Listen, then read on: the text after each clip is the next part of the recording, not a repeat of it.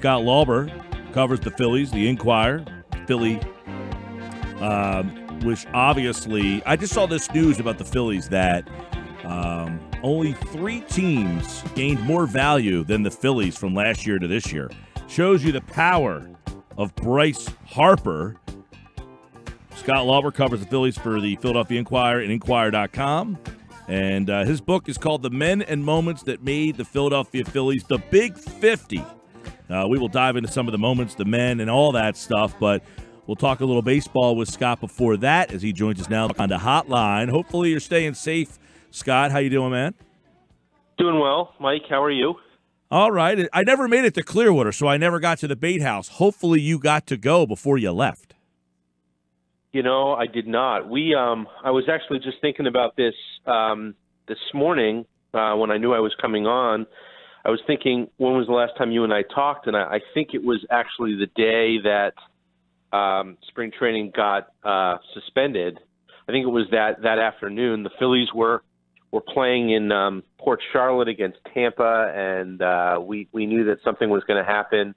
Uh, something was going to come down. So I think we talked that day. Literally the next day, I uh, spent uh, most of the day at the ballpark trying to um, find out what I could about what players were being told uh, to do. And then the following morning, I did the same thing, and I was able to fly home uh, that afternoon. So within probably 48 hours of talking to you, um, hmm. I was leaving town myself. So yeah, I mean, kind of hoping that I can do it uh, at some point this year when they resume spring training, if they resume it. But um, didn't have a chance to do it. Ah, bummer. Yeah, I never made it down there either. That uh, Tuesday I was supposed to go. By Monday they basically closed everything down, and I basically just said, "All right, I guess uh, this year's just not going to happen." But uh, that might be the case for everything, Scott. And uh, I know the news uh, with this Arizona playing out there. Where do you uh, kind of stand on that? Do you think that this Arizona bubble could uh, could work? I look. I have my doubts. Um, I, I have a lot of questions. I guess before um, I make a judgment. I mean, there are a lot of things that would need to be worked out. Um, I, I wonder about the practicality of it all. Um, you know, it's interesting. I was talking um, yesterday um, for a story that's going to appear in the paper tomorrow. I was talking to uh, a couple of ex Phillies pitchers, David Buchanan and Ben Lively, who are trying to get their season underway in Korea. And um, Korean Baseball Organization actually uh, has a, a, um, a start date set. They're they're aiming for May 1st with uh, exhibition games beginning on April 21st, and they have a little bit of a, of a head start on us here because uh, uh, coronavirus uh, is is sort of um, uh, there are still new cases every day there, but they're they're very low in number. I think they've reported right around 50 cases, new cases a day for the past three or four days. I mean, if we could ever get down to that low of a number, um, we're obviously nowhere near that. So they've got a shot at doing it. We were talking about, you know, some of the protocols that would be in place for them. They'd be playing in front of no fans, at least at the beginning. Uh, they uh, they would um, they they return to practice the other day and they get their temperature taken uh, as they walk into the ballpark and uh, there there's better testing uh, or more testing available in Korea than there is here right now. Um, but you know there's the concern, of course, that what if somebody tested positive, and that's that's the biggest concern you have even about the Arizona plan. If you isolated 30 teams uh, in 30 hotels and you limited them to go from the ballpark to the hotel and back each day. Uh, you know, maybe you'd be limiting their contact with uh, anyone but each other. But what if somebody tested positive and and and those guys were saying that um, when they got back to Korea, they were subjected to a, a 14 day isolation period where they literally had to stay in their apartments for for 14 consecutive days. If they wanted anything, uh, or if they needed food or whatnot, they either had to call delivery or they had to have their translators go out and get them something. And even then, it could only be dropped at their door. They were allowed no contact with anyone. And now that they're out and about, um, you know, there are restaurants open and they're they're allowed to they're free to do live their lives. But you know, they were saying that um, it's kind of understood that you know you're not you're not to be going out and like you know having a party or being around a lot of people um, it's pretty clear to them that you know you, you really can't um, you know let your guard down or take any chances because if one guy tests positive, it's going to throw the whole thing out of whack. So lots and lots of questions. Yeah.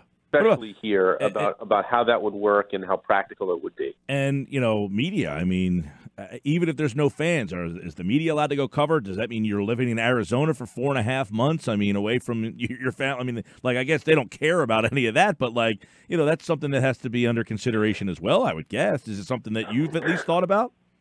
Oh, I've thought about it a lot. You know, I've thought about it a lot uh, just because it's what I do, and and, and I'm sure it's hard that... enough on your families when you're saying, "Hey, honey, I'm going to spring training for a month." Sure, and you know, I mean, look, nobody um, wants to hear about um, you know about that that aspect of it, but certainly because it's what I do, I wonder about it. Mm-hmm. I wonder about whether media would be invited into that bubble, whether uh, whether it would be television broadcast only and a skeleton crew at that, and um, how that would all work. On top of that, I wonder about you know if you're going to have 30 teams staying in hotels in the greater Phoenix area, you're going to have to staff those hotels. So what about the people who have to work at those hotels? What about the people who have to prepare food for those players who are going to be living in those hotels? What about uh, support staff, you know, uh, for, from each team?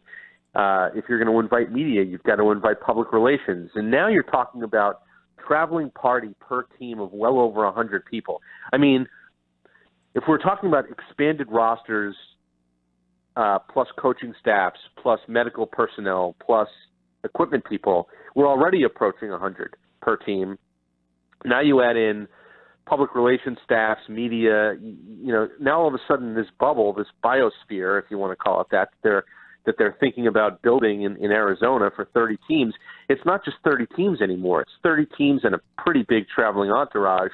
And so, I mean, is everybody going to get tested on kind of a regular basis? Uh, is there going to be that kind of availability of, of, of tests? The questions are just uh, are, are endless, and the logistics are so challenging. And I think that um, until uh, they can hash a lot of that out, you've got to look at the Arizona plan and say, it's creative, but it sounds kind of insane at the same time. Uh, I'm interested to see if they can pull it off. May also seems to be a little bit aggressive. I know there's some talk about spring training and getting it off the ground and uh, maybe playing games in June. We shall see. And you know, hopefully, you know, not only that, not yeah. only that, but I mean, the, the the virus travels. You know, so just because um, you know places like you know New York and um, and Seattle and, and Washington State and um, uh, other places are being identified now as epicenters. Uh, it's growing in Philadelphia. It, it hasn't been as prevalent or it hasn't been as uh, widespread in Arizona, but just because that's the case now does not mean that will be the case in May or June. Maybe May or June. I mean, I hope I'm wrong about this, but maybe May or June, Arizona's dealing, uh, you know, the way a lot of places are now. Yeah. So you know, uh, so many questions to to to be to well, be asked. I mean, and, I, I think answered. that's a great point, Scott. I mean, yesterday was an eye opening experience for me. My college roommates live in North Jersey. Uh, they know multiple people who have died, people who are in the hospital. I mean, eight to 10 people they know personally in the hospital. I said, I don't know anybody. We live two hours apart. Just the difference between where they live and I live and possibly where you live and, and how that could all change within a month from now, I think is so hard to to try to predict, to think about playing games in a place. But, uh, you know, um, that, that's a possibility that they're thinking about. And, uh, you know, it's our duty to kind of let the people know. But Scott Lauber is our guest. Uh, I, I, got the book here. It's great. The Men and Moments That Made the Phillies Big 50. It's called Scott Lauber's. Uh, and, and, one of the chapters I want to pick on because I just saw the Forbes article uh, is number uh, 23. The Bryce is right. And so people saw how much he signed for last year and were like, oh my gosh, 13 years, $330 million.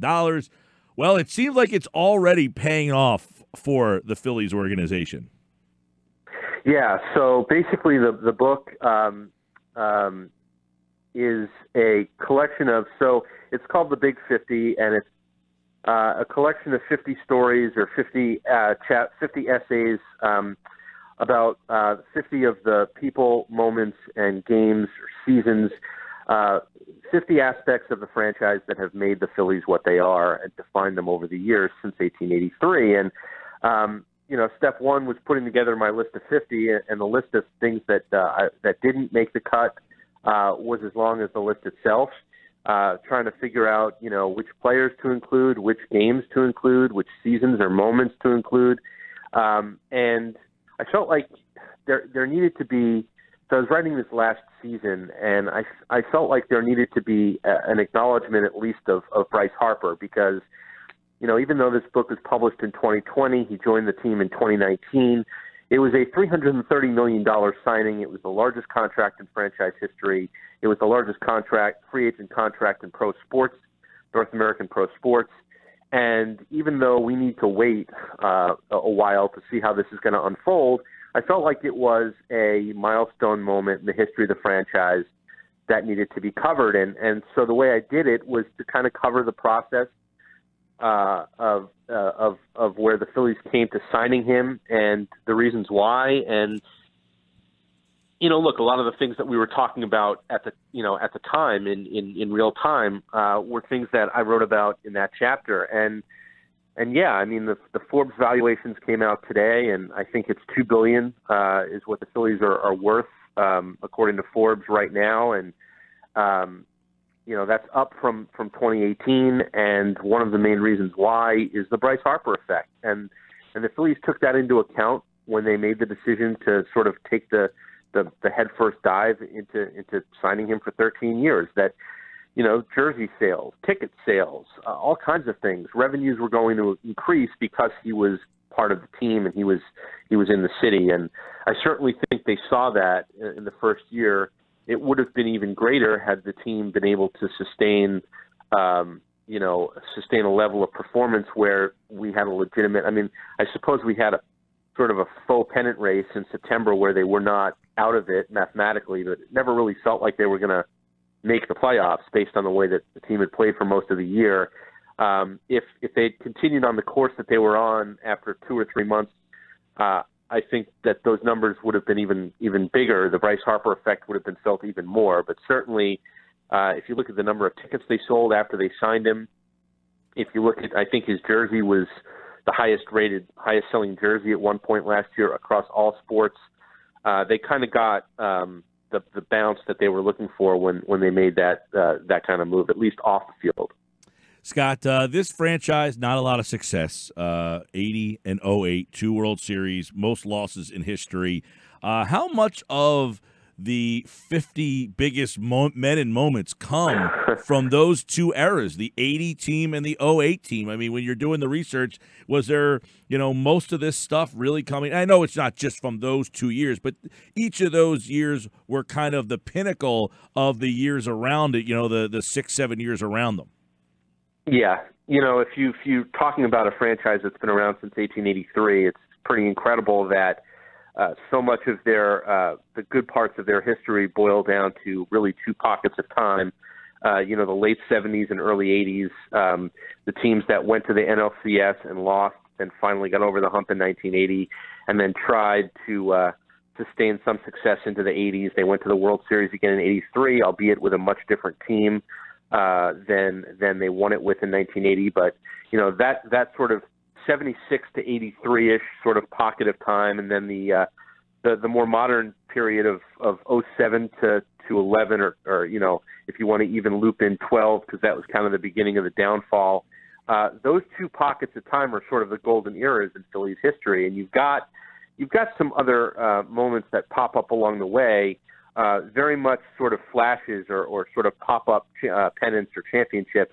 The Whiz Kids in 1950, the 1964 team that broke everybody, everybody's heart by um, by blowing that big lead down the stretch. Um, it was not a good memory, but it was certainly a memorable uh, year for the franchise uh, for the wrong reasons. And then you know you've got '93, which was kind of that pop up uh, macho row one year flash. Um, and and then you've got you know uh, star players from from from every era along the way. Uh, obviously, the more concentrated, um, the, the the higher concentration of stars were in the eras where the team was really good. So, yeah, I mean to answer your question, a lot of it certainly focuses on um, on that that late 70s, early 80s time frame, and, and the and the 07 to 11 or 12 time frame. But you know, you've got you've got chapters on people from you know uh, Robin Roberts and Richie Ashburn in the 1950 Whiz Kids, and you know, the there's a chapter on the 1964 collapse, and you've got turn of the century guys. I mean, Grover Cleveland Alexander was as good a pitcher as there was during his time, even though it was a century ago. And so you've got to sort of touch on all those things. But yeah, I mean, the concentration of of Philly's history is in two, in, remarkably, is in two eras. Yeah, and uh, you mentioned the '93 team. There's a a a, uh, a, uh, uh, chapter called Macho Row, and uh, which is you know an homage to that team. Uh, obviously, only two World Series championship, but it feels like the '93 team is almost as popular as the teams that won the World Series. That team was so beloved for a team that didn't win it, but it seems that they're like right there in terms of fondness. They are. Um, they are, and you know, so uh, there's a chapter on on that season. Um, uh, there's a chapter on Darren Daulton. Darren Daulton is part of a chapter about some of the great catchers in Philly's history. He could have easily been a chapter onto himself. Um, there's a uh, there's a chapter on the World Series uh, focused on the Joe Carter home run, which was you know one of those infamous moments in Philly's history, but but you know sort of the capper on a a great World Series. There's a Curt Schilling chapter. Um, but, you know, I mean, some of the stars and some of the guys who are everyone is so fond of on that team, guys like Dykstra and Kruk and um, you know, they're covered quite a bit in the chapter on the season. There isn't a chapter on each of those guys themselves, and that's where I say it's it was difficult to narrow down to 50. I think if I was going to 60, they both would have been would have had their own chapters. Um, you know, so it's it's it is interesting, and and that team is hugely popular. Um, over at the Inquirer, we've been doing kind of a we've been doing a weekly podcast where we rewatch a game from Phillies, uh, uh, uh, uh, an iconic game from Phillies history, and one of the games we've done here during this shutdown period is the uh, is the clinch game of the '93 NLCS against the Braves, where they beat Greg Maddux, and you know you think back to the personalities on that team and and uh, what that team meant to the city, which, uh, you know, it had been 10 years since they were in the World Series. Uh, it would be another, what, uh, uh, uh, 14 years before they'd return to the playoffs. I mean, it was kind of a, um, it was kind of a team in an era unto itself. And what was remarkable to me about that team, and when I dug into it for the book, were you take all of these personalities that they had, um, you know, Schilling, Mitch, uh, Dykstra, uh, Daulton, Kruk, um, you know, and you sort of put them all in in one clubhouse, and that had the potential to go really, really bad, and it didn't. It went it went really, really well, and so many people point to Daulton and his and his impact on the clubhouse and keeping everything together. Uh, but that was just that was a kind of one year where everything worked the right way and perfectly. And I don't know that you could take the, that same group of guys put them back together again a hundred times and have it go as well as it did that one yeah. time. I think it was it was really a remarkable season from so many uh, from so many aspects. And having lived through it, but not lived through it in Philadelphia, I, I was living in Central Jersey at the time, uh, and I was in high school. You know, I learned so much that I didn't already know about that group and kind of what made them tick. So that was a fun chapter to work on. Uh, the book is The Big 50 The Men and the Moments That Made the Philadelphia Phillies. Uh, I encourage everybody that's out there right now during this quarantine to quarantine yourself with this book if you're a big Phillies fan and just start uh, going back through the chapters. 50 of them. We touched on a few. I want to get your take on you know, when people think about the Phillies, as bad as the organization's uh, history has been in terms of, um, you know, uh, lack, they have had some major stars with Schmidt and, and Carlton and Chase Utley, I guess, you know, and, and even guys who were here for a short amount of time, like Roy Halladay. Uh, do you think Bryce Harper ultimately, when when he's in the middle of his deal, will be looked at as the greatest Philly? Uh, or like, does he feel like that's what he? Because I mentioned, you know, we're doing all these different topics that we're trying to get creative on, and people are like, "Who's the biggest?" And I said, the most underappreciated guy I think is Harper right now. Like, we don't appreciate how great this guy really is. He's only been here the one year, and people were kind of like, "Well, he only hit 250 or whatever it was," you know, like, but ultimately. Are we not appreciative of how awesome it is to have Bryce Harper on the Phillies? Yeah, I mean, there's there's a lot of star power there for sure with Bryce, and um, you know, I don't know. There were times last year where I watched him and I thought, you know, I, I'm not sure. I, I know for a fact that he's one of maybe the three or five biggest stars in the sport. I don't know if he's one of the three or five best players in the sport. Then there were times where I saw him carry them in the second half of the year, and I thought, all right, we're seeing the full power of this guy's uh, potential and and talent. Um, you know, I certainly think that he's going to be here long enough. He has 12 more years, including whatever they're they're able to get in this year. Uh, he has 12 years left on this deal, and certainly by the end of it, he he really should have numbers that pop off the page. I mean, you talk about. I guess we could sit here and talk about which guys have a chance to hit 500 home runs and which guys have a chance to to kind of put up numbers that would be uh, Hall of Fame worthy numbers. And given what he did in Washington and given uh, the numbers he, he did put up in his first year here last year and the fact that he's got 12 more years on this contract, if he's not in that position and he doesn't have Hall of Fame numbers at the end of it, then something went went really wrong. Um, you know, I do think he has the potential to kind of be looked upon as one of the greatest, not only Phillies players ever, but players of his generation. And um, you know, it's it's one of the things that is, you know, if we were doing this book, um, you know, I've said this to people, like if I was doing this book even five years from now, um, you know, he might be a lot higher on the list than he is because um, the body of work, you know, he's he's what 27 years old, 26, 27 years old. He's what in what should be the prime of his career, and these next five, six years really should be a time for him to put up ginormous numbers. And so, if we were doing this book, Big 50 Phillies, like in 2025 or something like that, then sure. I mean, if he's not in the top, you know, 10 uh, people that you're talking about, then something went really wrong with that contract. And um, it's going to be fascinating to watch it unfold uh, when they do get back, and then over the course of the next few years to see if he can live up to what are really um, probably on some level unfair expectations, but also, you know, that's that's what comes with all of this: the star power and the contract. People are going to expect really, really big things. And so, if he was underappreciated in year one, um, you know, I don't know that that's going to remain the case for very long into his tenure with the Phillies because he's either going to meet those expectations and be beloved, or he's going to fall short, and uh, people will feel a different way. Uh, by the way, uh, there's 50 here. Are they in any order, or is it just uh, kind of randomized? I mean, obviously the 80 World Series, 08, Mike Schmidt, lefty. It seems like the some of the star powers at the top of the list here.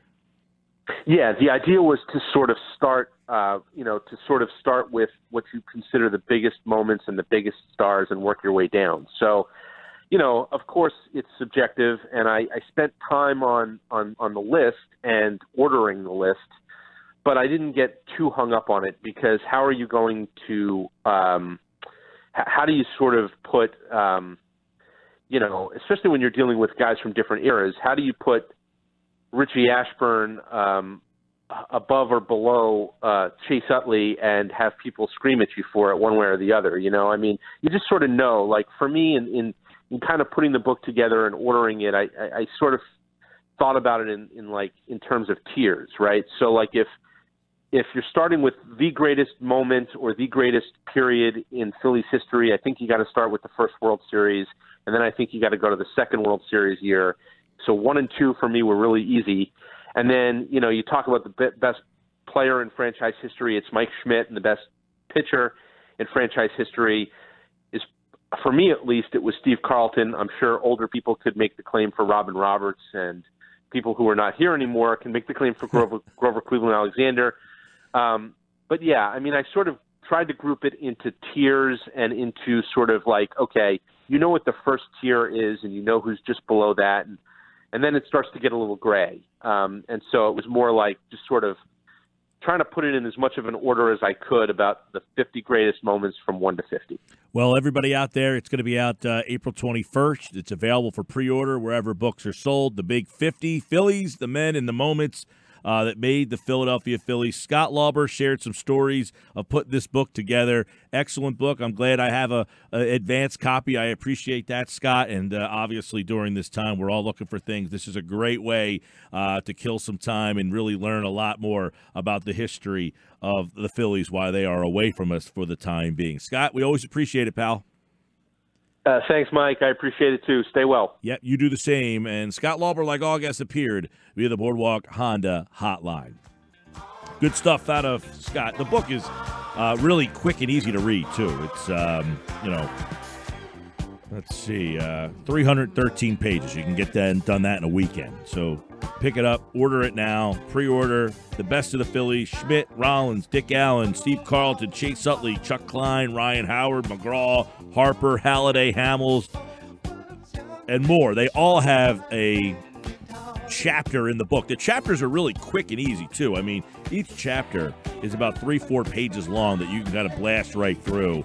And uh, it's called The Men in the Moments That Made the Philadelphia Phillies, The Big 50. That was Scott Lauber, the, the author.